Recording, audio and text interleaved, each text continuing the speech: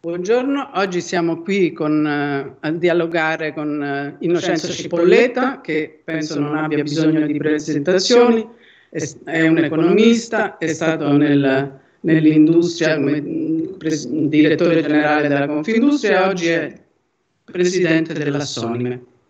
Ecco, volevamo discutere eh, un po' del, de, del, futuro dell'economia italiana e dell'occasione che presenta questo Recovery Fund.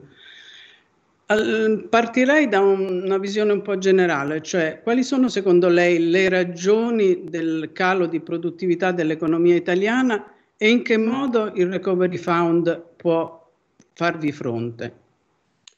Il, la caduta della produttività italiana è derivata soprattutto dal forte rallentamento economico che noi abbiamo conosciuto a partire in particolare dalla crisi dell'euro, quella del 2011, quando si stabilì che la Grecia poteva fallire e che quindi i mercati hanno cominciato a dubitare della tenuta dell'euro, hanno scommesso contro l'Italia, l'Italia ha visto aumentare i suoi tassi di interesse e ha dovuto fare delle politiche di austerità. Queste politiche di austerità hanno ridotto la crescita economica in maniera molto forte e quando si riduce la crescita economica succede che la gente che cerca lavoro deve adattarsi ai pochi lavori che esistono, i pochi lavori che esistono in genere sono lavori marginali, lavori nei servizi eh, e questo porta a una riduzione della produttività perché evidentemente una parte della popolazione finisce per andare a lavorare in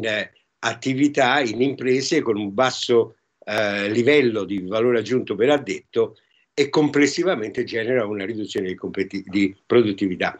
Questo non significa che il paese sia meno produttivo, perché le imprese industriali, quelle che continuano a operare sui mercati, invece hanno incrementi di produttività molto forti, anzi a volte con la crescita bassa hanno incrementi di produttività molto elevati e questo riduce la loro occupazione perché sappiamo che la produttività è il rapporto in genere lo consideriamo un rapporto tra il livello della produzione e il livello dell'occupazione. Le imprese produttive cercano di economizzare manodopera e capitale e questo aumenta la loro produttività ma riduce l'occupazione. Se il paese crescesse tutto questo non sarebbe un problema. Quando il paese non cresce il problema si pone e si diventa un paese a bassa produttività. Quindi secondo lei è un problema di domanda il calo della produttività e la perdita di competitività che c'è stata nell'economia italiana.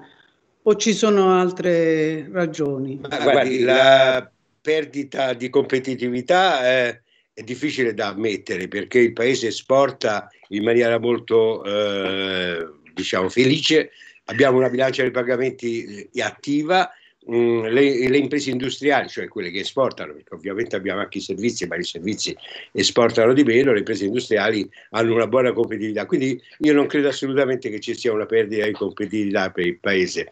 C'è sicuramente una perdita di produttività, ma appunto questa è legata alla bassa crescita. La bassa crescita è esattamente il prodotto della bassa domanda. Per molti anni, dal 2011 praticamente fino adesso, noi abbiamo dovuto ridurre la domanda interna attraverso politiche di aumento delle tasse o di riduzione della spesa pubblica. E questo evidentemente ha compresso la domanda interna, ha favorito le esportazioni ma non ha favorito la crescita. E questo è il problema dell'Italia, ma mi faccia dire questo è il problema di tutta l'Europa. L'Europa è, sono 27 paesi centrati tutti sulle esportazioni. Per essere centrati sulle esportazioni, questo significa banalmente che io devo abbattere i costi di produzione per essere più competitivo e esportare. Abbattere i costi di produzione significa avere meno salari, meno occupazione e soprattutto meno tasse. Avere meno tasse significa avere meno spesa pubblica, complessivamente quindi la domanda interna viene completamente contenuta e i paesi diventano competitivi però la crescita non ci sta più. Difatti l'Europa è un insieme di paesi che crescono poco perché crescono solo export led, cioè una volta che riescono a esportare, ma a chi?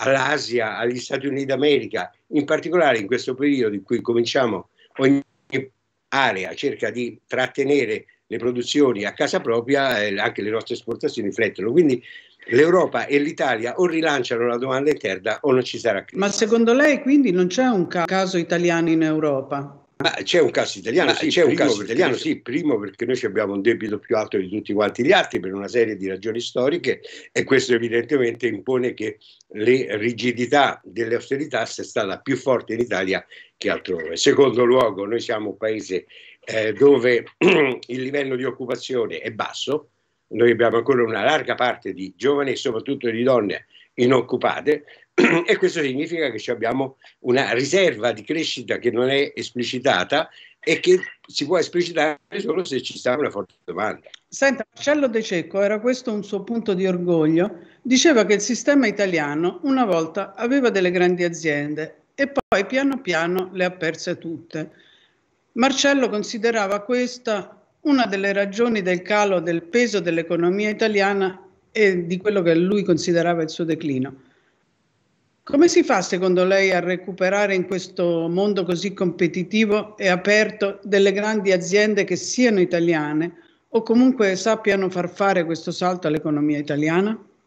Beh, sì, sicuramente noi abbiamo perso le grandi imprese, eh, questo processo è andato avanti nel corso eh, degli anni passati. Eh, contemporaneamente bisogna dire che il mondo sta cambiando molto eh, mentre un tempo le grandi imprese erano le imprese industriali essenzialmente, e quindi c'erano dei colossi industriali che avevano 100.000 addetti, 150.000 addetti. Adesso i colossi sono imprese di servizio. Eh, faccio un esempio banale.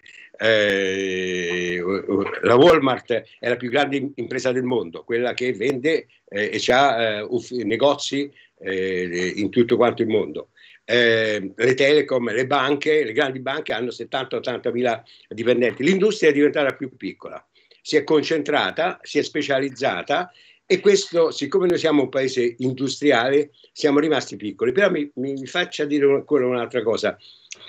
Cos'è una grande impresa? Eh, spesso si pensa che una grande impresa sia quella che ha molti dipendenti.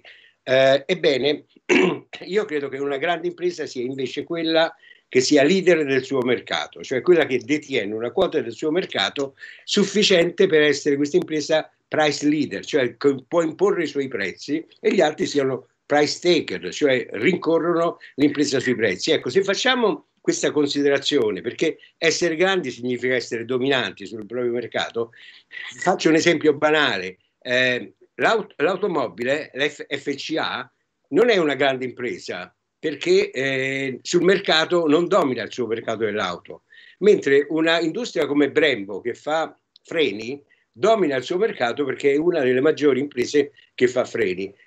Paradossalmente è più grande Brembo di FCA, malgrado il numero dei dipendenti sia più bassa. Ecco, l'Italia ha un certo numero di piccole e medie imprese che dominano i loro mercati perché sono specializzati in alcuni settori e queste imprese per me sono grandi, sono imprese importanti perché sviluppano tecnologia, battono i propri concorrenti, riescono a dominare i propri mercati. Eh, la, l'impresa industriale difficilmente diventa una grande impresa. Ecco, forse l'unico settore dove la, la, la, dimensione domina è quello del farmaceutico. Però anche lì ci rendiamo conto che la ricerca e lo sviluppo non è più fatto della grande impresa, ma è acquistato. L'esempio di Pfizer è evidente. Pfizer ha acquistato BioNTech eh, un, eh, un modo di fare un vaccino evidentemente loro essendo grandi loro riescono, riescono a, produrre, a, in quantità, in quantità gigantesche e a, dis- e a distribuirlo per tutto il mondo, cosa che, cosa che BioNTech, BioNTech non, non, non, non riuscito a fare. Ecco allora, ecco allora qual, è la, qual grande, è la grande impresa? impresa? Eh, in questo caso Pfizer agisce quasi come un fondo di, di venture capital. In realtà acquista una innovazione e sempre più le innovazioni si fanno fuori dalla grande impresa, si fanno nelle piccole. Ecco, quello che noi dobbiamo avere, dobbiamo avere dei, alcuni settori, alcune imprese che riescono a acquistare anche quelle che sono le innovazioni che si formano in piccole imprese, in laboratori, in università, per poi svilupparle e portarle avanti. Questo è il futuro dell'economia e questo io vedo il futuro dell'industria. Ritorniamo al recovery fund. In che modo secondo lei può affrontare il tema dell'ineguaglianza e dello sviluppo dell'economia italiana? per la prima volta in Europa si punta sulla domanda interna europea e questo è sicuramente un cambio di paradigma importante e utile perché l'Europa, come dicevo, non può crescere esportando nel Vietnam, in Cina o negli Stati Uniti d'America, deve crescere con la propria domanda interna, dopodiché esporterà. Non ho nulla contro le esportazioni, al contrario, però la prima fonte di crescita di un paese di 400 milioni di abitanti è la domanda interna. E il Recovery Fund riporta l'attenzione sulla domanda interna, le infrastrutture, eh, l'istruzione, eh, le, la crescita dei servizi alle famiglie. E qua veniamo al punto importante, una larga fetta del Recovery Fund è dedicata ai servizi alle persone, che vadano dalla sanità all'istruzione, alla sicurezza. Sono servizi importantissimi. Allora io vorrei sottolineare che i, i, nei paesi moderni la riduzione delle diseguaglianze non avviene attraverso il sistema fiscale tassando chi è ricco e non tassando chi è povero, eh, avviene soprattutto con la, la, disponibilità di buoni servizi gratuiti per tutti, in particolare per coloro che sono meno abbienti. Un paese dove coloro che hanno un reddito limitato possono avere una buona scuola, una buona sanità, eh, un buon sistema dei trasporti, eh, una buona assistenza per l'introduzione al mondo del lavoro e alla disoccupazione quando cadono disoccupati, un buon sistema di previdenza per il loro futuro, ecco, in questo paese, pur se ci sono grosse differenze di reddito, sarà un paese molto più uguale, molto più giusto, perché questi servizi rendono le persone tutti sullo stesso piano evidentemente se sono gratuite per chi ha poco reddito e magari con qualche contributo per chi ha più reddito. Comunque c'è un problema grosso di fisco perché se il fisco non distribuisce equamente il carico fiscale sui contribuenti diventa un'altra ineguaglianza. Come si fa ad affrontare questo problema dell'evasione fiscale che poi ha alla radice anche problemi economici? Nel senso che un sistema che consente l'evasione fiscale consente la sopravvivenza di settori marginali che forse, se dovessero pagare le tasse, scomparirebbero. Beh, ci sono, Beh, ci due, sono strade due strade per, per correggere, correggere, l'evasione fiscale italiana, fra le altre, perché ovviamente se ne possono essere altre. La prima è sicuramente ormai quella di utilizzare l'informazione digitale che ci consente di capire eh, praticamente tutto. Oggi tutto quanto, le banche dati esistenti possono dire tutto quello che noi consumiamo, quello che spendiamo, eh, siamo addirittura tracciati quando ci muoviamo da casa nostra e andiamo dentro un negozio. Quindi si riesce a individuare quelle che sono le transazioni e questo dà all'Agenzia delle Entrate, se la vuole utilizzare, un atu enorme per combattere eh, l'evasione fiscale. Negli altri paesi non si va più a fare irruzione dentro le aziende per andare a trovare documenti segreti che non ci stanno più. Si usano le banche dati da, da remoto e si individuano eh, le, le persone. Eh, I sistemi bancari ormai sono trasparenti, la finanza può entrare in tutte le banche, quindi mh, la prima lotta all'evasione è quella lì. La seconda lotta all'evasione è cominciare a spostare una parte del carico fiscale dai redditi alle cose e in particolare alle case. Eh, noi abbiamo escluso la prima casa dall'IMU quando in tutti i paesi del mondo, quelli più corretti, le tasse locali si pagano sulla base della casa a disposizione della persona.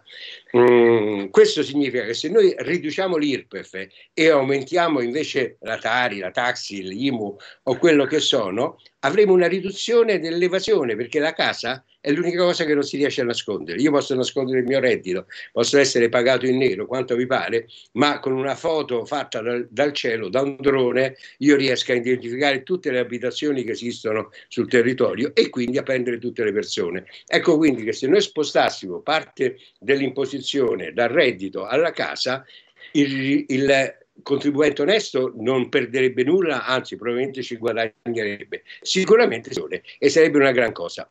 Ringrazio Innocenzo Cipolletta per essere stato con noi in questo discorso sull'economia e il Recovery Fund e ci vediamo prossimamente.